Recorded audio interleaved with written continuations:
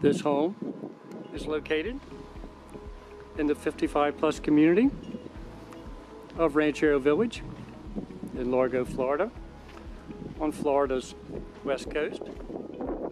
Very convenient location. Easy access to two major airports, the beaches, lots of shopping, and a great community. We're entering in through the carport door. There is another door into the Florida room on the back of the home, which we'll see in a few minutes. We enter into the kitchen. Nice pass through from the kitchen to the living room. Nice sized dining room. Much of the furniture will be included in the sale. The dining room set is included. Love sets and love seats included. Sofa and some other furniture will not be. We do have a very detailed list of what will be staying and included in the sale. Nice sized living room, ceiling fan. This is the actually the front door entrance here. Three entrances to this home. Master bedroom. A whole wall of closets.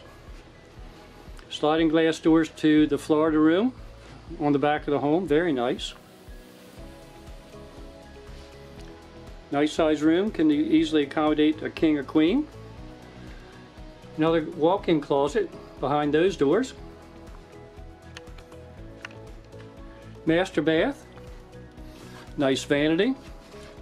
Good size shower behind the curtain here. View of the master bedroom from this angle.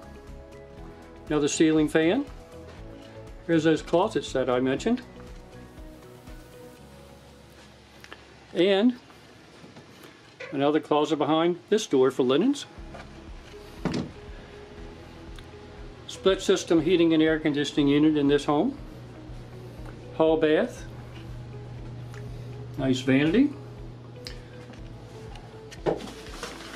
Tub and shower bath in this bathroom.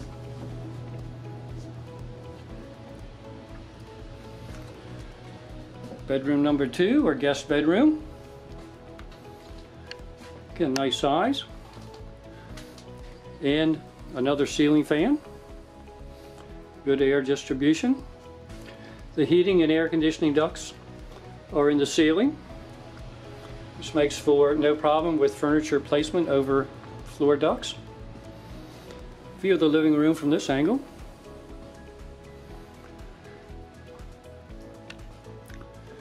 Very, very nice Florida room, or sunroom, as it's called, on the rear of the home.